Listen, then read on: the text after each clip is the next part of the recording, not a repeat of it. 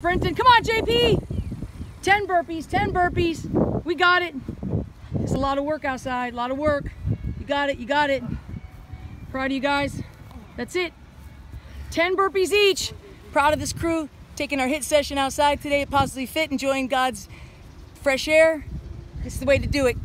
We'll focus on flexibility, fat burning, working our muscles, defining those muscles, core strength, all that good stuff. If you're bored with your workout, you need to come check us out at Positively Fit and get involved in one of these 30 minute HIIT sessions. It's awesome.